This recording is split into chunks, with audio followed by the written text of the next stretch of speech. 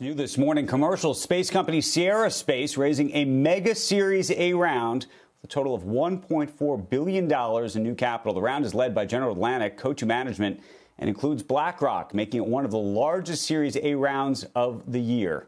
Joining us right now, first on CNBC, is General Atlantic Chairman and CEO Bill Ford and Sierra Space CEO Tom Vice. Good morning to both of you, gentlemen. Uh, it's this is a, a massive deal uh, at a uh, at a big valuation and a lot of real capital going into this. Uh, Bill, walk us through the investment thesis. Great. Thanks, Aaron. Great to be uh, with you again this morning. We couldn't be more excited about uh, our investment in Sierra Space and partnering with uh, both Sierra Nevada, the Ozmen family, and Tom Vice. Um, we see a tremendous commercial opportunity developing in space. The low Earth orbit market today is over $300 billion in size and growing rapidly. 3,000 low Earth orbit satellites, 100 plus launches per year of new rockets. So this is a real market happening now, and uh, it needs capital to execute its business plan. But when you hear Tom talk about uh, our transportation business servicing uh, the International Space Station and these the satellite constellations, and then longer term our space station business, I think you'll see why we're so excited about this investment.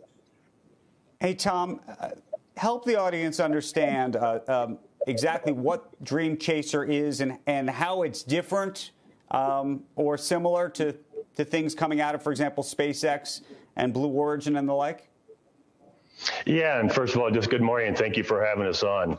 Uh, Dream Chaser is a really revolutionary new space transportation system.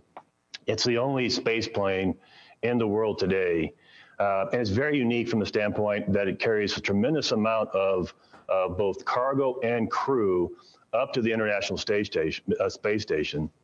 But it also uh, comes back and, and lands at any airport virtually in the world that a 737 can land. Uh, it carries non-toxic fuels, and so when the aircraft, uh, spacecraft lands, again, you can walk right up to it. So it's very unique in the standpoint. It's the only system that lands at a runway, uh, and, and, you can walk right up to it. The crew can walk right off of it.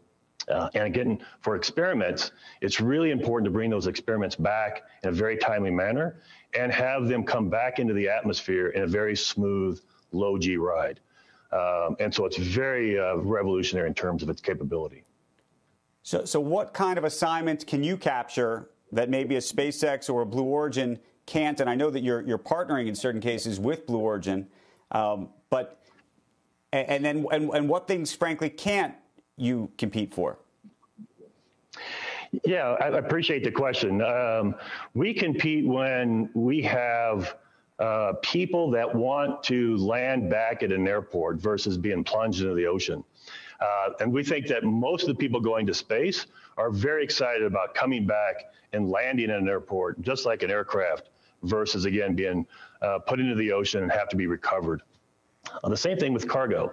Uh, most of the cargo that we see um, really wants to make sure it has a smooth ride back to to uh, to Earth. Uh, these experiments are v- very delicate. The cargo that's coming back is very delicate, and so it's very important for most of the customers that we're talking to to have that smooth ride back to Earth. Uh, and so we see that we're very competitive with the other space capsules, whether it's SpaceX uh, or Boeing or others. Um, we don't really see an opportunity, we don't see areas where we can't compete because Dream Chaser is actually a product line. We start with the crude version that we're, we're obviously we're on contract with NASA today to provide cargo resupply to the International Space Station. We fly that vehicle for the first time next year. Uh, with with the investment capital that Bill uh, and the team are investing in Sierra Space, we're now accelerating our second uh, version of Dream Chaser, which is a uh, version that carries astronauts to and from the station, and at the same time we're accelerating a national security version. And so we see this as a full long product line in which it will grow in capability from the products we have today, and we think to be able to service all parts of the market was a it was a franchise business in space planes. And Aaron, just, to, just to add what Tom said, yep, if I could just just quick, quickly add in, if you think about SpaceX and Blue Origin, they're competing in the launch business. and launch costs are, are declining rapidly. And that's a real driver of the market opportunity. And uh, we're not competing in the launch segment. We're really competing in transport, our space plane going up to space and providing a service, as well as longer term, the space station or destinations business, where we conduct experiments for the pharmaceutical industry, the healthcare industry, even the semiconductor sector. So it's it's actually capitalizing on all the the innovation and capital that's being invested by both SpaceX and Blue Origin. Right. Tom, Tom, this is a, this is a massive investment in terms of, of, of capturing 1.4 billion dollars, which you're, you're going to go out and spend. Um, how quickly can you get to profitability? How many more raises do you imagine you're going to have to have before you get there? Yeah, uh, you know, our, our company today uh, is already generating revenue and generating profit. So we're already at profitability inside of Sierra Space. This investment of 1.4 billion allows us to accelerate uh, the products that we have in development and capture bigger parts of the market faster. Uh, so we're, we're, we're, working towards already uh, capturing that billion dollar or, or, trillion dollar TAM that Bill talked about.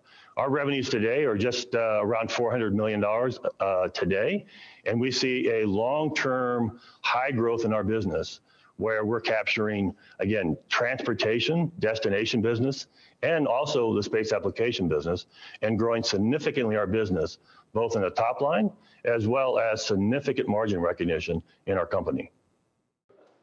Shepard Smith here. Thanks for watching CNBC on YouTube.